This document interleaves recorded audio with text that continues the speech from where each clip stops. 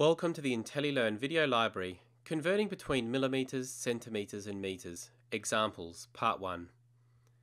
In the following examples, the unit for each quantity is shown in yellow text directly above the quantity. This will show you how the units cancel. Example 1. Convert 0.78 meters to centimeters. Since you are changing from meters to centimeters, you must multiply the starting quantity by 100. 0.78 meters multiplied by 100 centimeters per meter can be found by writing the starting number of 0.78 and moving the decimal point to the right by two jumps as 100 has two zeros. One jump and two jumps. This gives 78. The units of meters cancel, leaving only centimeters which becomes a final unit. 0.78 meters equals 78 centimeters. A good final check to perform is to look at your starting quantity of 0.78 metres, which is less than 1 metre.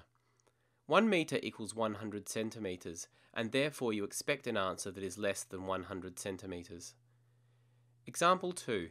How many centimetres are there in 68 millimetres? Since you are changing from millimetres to centimetres, you must divide the starting quantity by 10.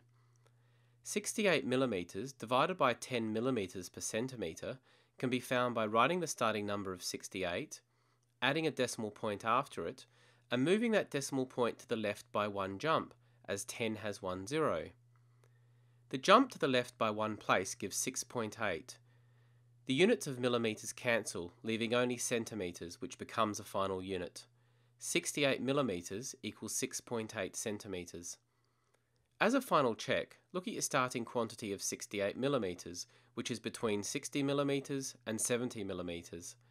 10 millimeters equals 1 centimeter, and therefore you expect an answer that is between 6 centimeters and 7 centimeters.